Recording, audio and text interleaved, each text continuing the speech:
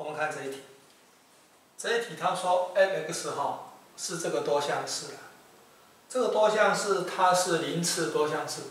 零次多项式就是常数多项式啊，啊就是那个次数等于零嘛，常数。那么它问 a 加 b 等于多少？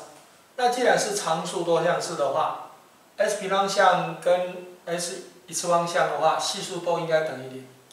也就是说，a 加二 b 哈加七，这个等于零，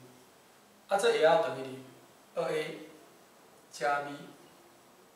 哎减一，这要等于零啊。好，那我现在呢把 a 跟 b 找出来，我把这个好把它乘以二好了，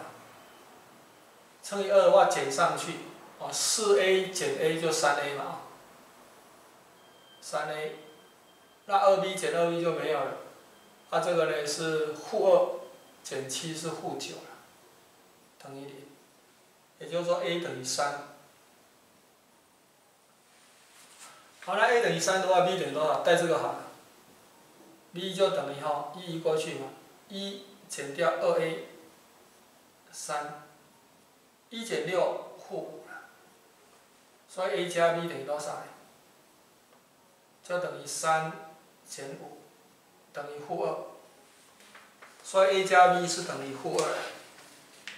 所以这一题哈，答案应该要选 A。